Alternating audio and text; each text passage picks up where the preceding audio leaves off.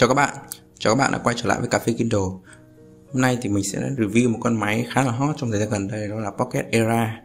Thì con máy này nó ở trong cái tầm phân khúc giá giữa Libra 2 và con Oasis 3 Thì mình cũng khá thắc mắc thì không biết con này có ok không và mình có lên bỏ Libra 2 và lên Era không? Đó, Một vài anh em thì cũng đang thắc mắc là có nên mua Oasis hay mua Era hay mua Libra 2 Thì hôm nay trong video mình sẽ giải đáp những thắc mắc đấy. Con này có ưu nhược điểm gì? Và à, nên mua hay không và ai nên mua. À, thì rất là cảm ơn máy sách tốt đã cho mình hỗ, hỗ trợ mình mượn con máy sách này. Thì hiện tại máy này đang ở bên máy sách tốt bán thôi còn các bên khác thì chưa có bên mình cũng chưa có bán cà phê Kindle chưa có nha. Thì phải nói là cũng hơi lạ vì cái thiết kế của nó nó hơi bo tròn các góc như này. À, rồi bên xung quanh nó làm kim loại luôn nha nó không làm bằng nhựa như Libra 2 nhá. À, nhưng bằng lưng nó làm bằng nhựa. À, còn con Oasis thì chúng ta biết là Oasis 3 là full kim loại full nhôm làm rất là đẹp sở rất là thích. Tất nhiên hơi lạnh vào mùa đông nếu mà miền Bắc chúng ta nên dán da hoặc là dán ờ, để kem để cho nó đỡ lạnh cầm đỡ trơn. Nhưng một cái yêu cái cái điều đầu tiên mình cầm con này này là nặng thực sự là nặng. Đó, nếu bạn nào cầm giống mình mình đang cần con Libra 2 205 gram cầm cho sao con này 225 gram. Nhưng mà cầm vào phát thím nặng luôn. Tuy nhiên bù lại thì là lúc mình cầm lâu lâu ấy thì mình lại thấy nó thoải mái bởi vì cái cái phần bán này, này nó lại bo tròn. Khi mà các bạn cầm các cái máy như của Oasis hay là Libra 2 bạn sẽ thấy cái phần này nó cấn nó cấn vào nhưng mà khi mà trên uh, Era ấy, có họ cắt cái chỗ ấy đi thì mình cầm nó sẽ nó thoải mái hơn nó không bị cấn chỗ đó. Là cầm nếu mà các cầm con này này thì mọi người hay nói đầm tay ấy, nhưng mình thực ra nó sẽ là nặng đó, nhưng mà được cái nó không bị cấn. Tiếp theo là các bạn có thể dán thêm cái móc ở đây thì nó sẽ thoải mái hơn. Thứ hai là thiết kế của nó thì nó bằng khuôn vô mà nhìn khá là đẹp. Bấm của nó khá là dễ bấm. Dễ bấm và nó không bị nặng như con, con Libra 2 Libra 2 có hai điểm trừ rất lớn là thiết kế nhìn rất xấu vỏ ọp ẹp. Thứ hai là phím bấm rất cứng. Đó, nhưng mà con Era nó có những cái điểm khác hoàn toàn luôn. Đó là vỏ nó đẹp kim loại đó, sang trọng. Phím bấm thì êm. Phần quan trọng nhất trong cái video này nếu các bạn xem là các bạn xem đoạn này cũng được. Thì cái màn của con này là 1200 thì thực sự nó có đẹp hay không? Đó thì mình so với con uh, Oasis 3 và con Libra 2 đó. thì mình có một video rất là chi tiết để so cái cái độ sáng. Các bạn sẽ thấy trong cái video đó mình nói rất là rõ là cái cái màn hình của con Era này nó ở mức khá chứ không thực sự nổi trội so với Ừ, Libra 2 Era này mà nó ở tầm trung. Nó so với con Oasis 3 ấy, thì cái khi mà chế độ tắt đèn thì nó đẹp hơn con Oasis 3 nó rõ hơn. Đó.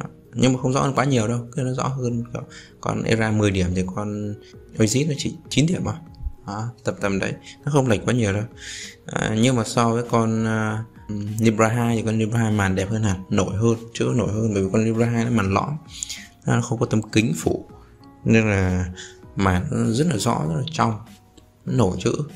Đó, còn ra thì kém hơn kém hơn một bậc. Thì à, con à, nếu mà so trên thang 10 thì con Libra 2 phải tầm 12 điểm 11 12 điểm ấy và khi mình bật đèn vàng lên ấy đèn trên đèn trắng ấy, thì con Libra 2 đã vàng rồi. Còn khi mà các bạn bật những đèn vàng lên nữa thì con Libra nó còn vàng nhưng mà vàng khá là trong. Nhưng mà con Era thì vàng nó còn vàng đỏ vàng đỏ giống con ờ, Oasis 3 Oasis 3 bật lên cũng vàng đỏ. Nhưng mà có một cái yếu điểm là cái, cái vàng của con ờ, Libra 2 thì nó nổi chữ. Oasis 3 nó cũng nổi chữ. Nhưng mà trên Era thì nó lại không nổi lên. Nó, nếu mà mình đọc tối ai mà đọc tối nhiều thì phải cân nhắc điều này.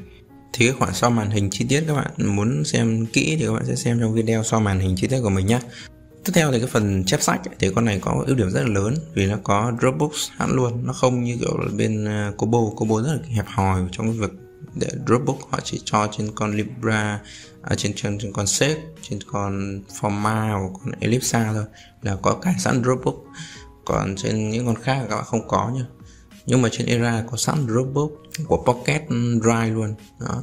Các bạn chép sách rất là tiện có video review của con Era rồi, các bạn xem cái phần chép sách của họ rất là nhanh. Họ gửi rồi gửi qua wifi, rồi gửi qua web rất là tiện. Đó. thậm chí con này nó có gửi qua bluetooth, rồi thậm chí con này có cái đặc điểm liên mạng, tải sách trực tiếp luôn, tải rất nhanh luôn, như kiểu bằng điện thoại. Nó thậm chí không cần dùng điện thoại, tải bạn, nên thẳng cho web bằng trình duyệt của nó bạn tải về, ok luôn đây còn là chép sách thì nó tuyệt vời đồng bộ rất là dễ. Tiếp theo là cái phần USB cái này là USB-C chép sách cực nhanh. Đây mình sẽ cho bạn xem cái phần chép sách.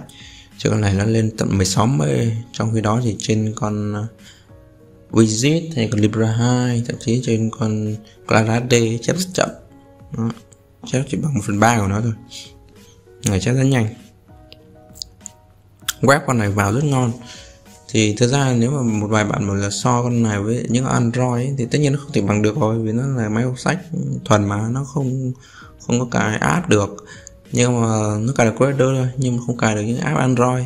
Thì tất nhiên là vào web thì nó không thể mượt được như những Android rồi. Nhưng mà mình khi mà mình trải nghiệm web của cái con này này so với những con như cái uh, Oasis 3 thì cái trải nghiệm web của nó rất là tốt. Các bạn có thể lên các bạn đọc báo được. Và lướt web nó không chậm đâu mà nó nhanh. Đấy, vuốt nó cũng sẽ ổn. Vuốt nó cũng lướt theo luôn sau đó refresh một lượt. Chứ nó không có chuyện giật giật giật như Kindle. Và chữ nó rất là phồng, nó to. Đấy. Và khi bạn vào vào những trang mà nó có âm thanh ấy thì trên con uh, widget nó không nghe được nhưng mà trên Era nghe được vì nó có loa luôn này nó cũng phát âm thanh luôn. Các bạn bật tai nghe bluetooth nó cũng đọc luôn. Các bạn mình đọc trên báo mới hay đọc trên dân trí cái phần có âm thanh này này nó cũng đọc luôn cho mình nghe. Đó giống cho trên mấy con máy android trình sửa trên android ấy. Đó thế là mình thấy phần này rất là tốt. Các bạn thậm chí những bạn là đọc truyện trực tiếp các bạn đọc truyện online ấy có nhiều bạn đọc truyện online thì vẫn có thể đọc được nhá. Thậm chí con này pin nó tốt ấy nên là đọc truyện nó cũng không tụt quá nhiều pin giống như trên các máy android đâu. Đó, nó tụt sẽ chậm hơn. Nên là nếu bạn nào đọc online thì vẫn có dùng được không phải lo. Nên là con này có thêm được tính năng ưu điểm nó hỗ trợ những bạn đọc truyện online truyện tranh online thì nó không đẹp đâu nhá. Thì mới đọc truyện online truyện tranh online thì nó phải vuốt khá là tệ. Thì những cái truyện tranh online mình vẫn khuyến khích nha các bạn. Dùng ăn máy android hoặc là dùng uh, ipad cho nhanh. Đấy. máy tính bảng cho nhanh có màu.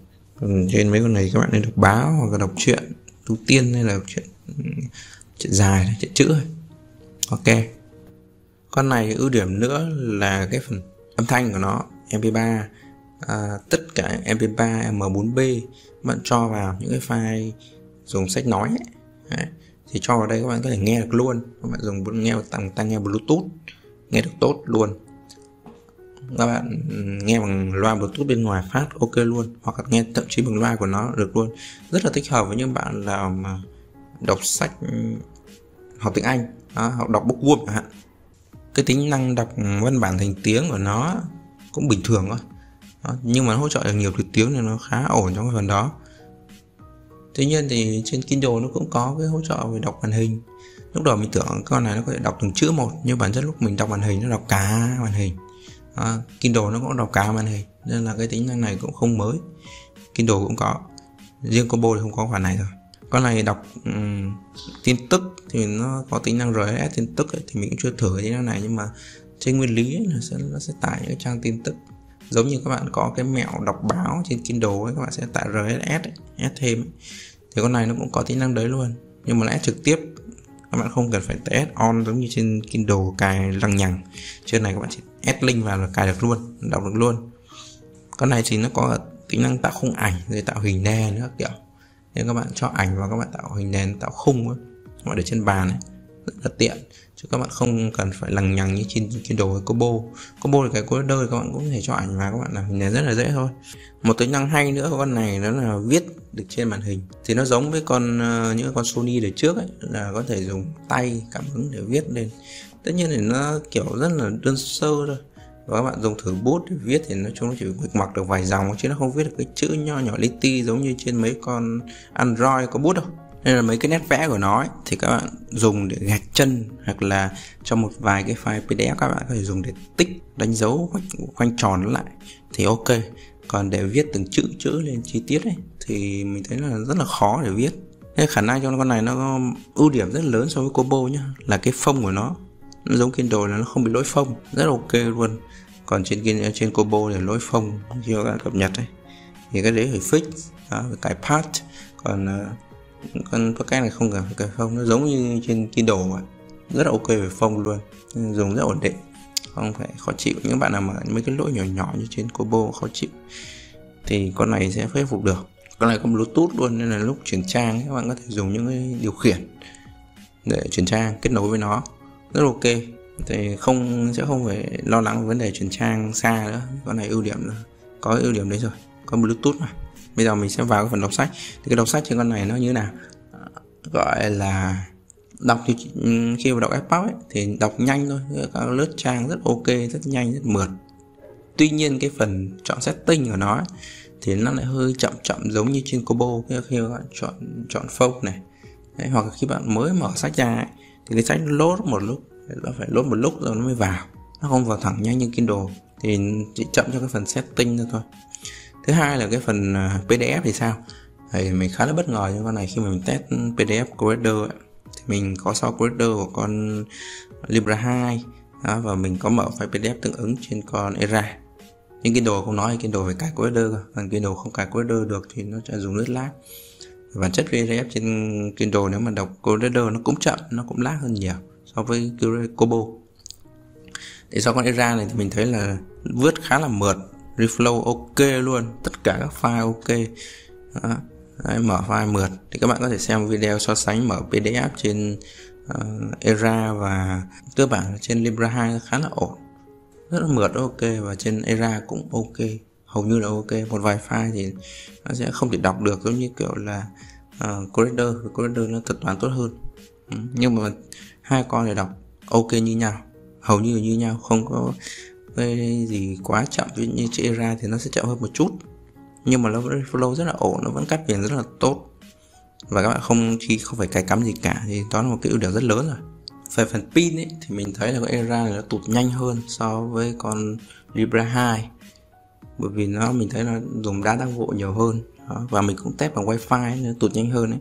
Nhưng mà so với những con Android thì nó khả năng ừ, tốc độ tụt của nó khá, khá là bình thường nó không có nhanh đâu nó thì dùng thoải mái mình thấy vẫn dùng hơn 2 tuần. Còn còn trên con Libra 2 thì phải dùng hơn 3 tuần. Thậm chí một tháng cũng nó mới hết.